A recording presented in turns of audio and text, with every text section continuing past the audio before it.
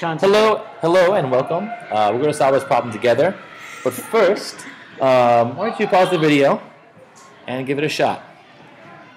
So what is the solution to the system of equations below? System of equations is a collection of equations, and a solution is the x and y values that work not for just one equation, but both at the same time. So we could plug each of these in, but man, that would take a while.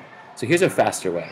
I noticed that 4y and negative 4y are opposites. So if I take these two equations, I'm going to write them out over here. Right, that's the first one, here's the second one.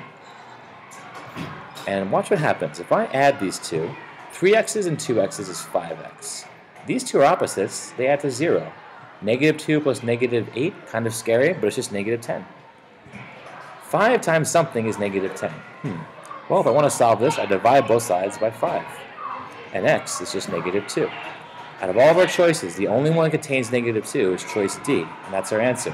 But just to confirm that y is 1, if we plug in negative 2 to either equation, I'll plug into the second, it looks less scary. 2 times x, 2 times negative 2, minus 4 times y equals negative 8.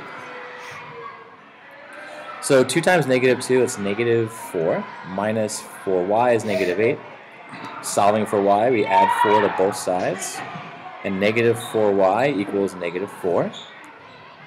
Hmm, negative 4 times something is negative 4.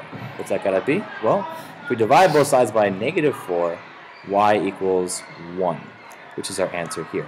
So if you want to uh, actually check this out and see if it works in the other one, I encourage you to do that. Take x and y and plug into the first equation, and it should work. All right, thanks.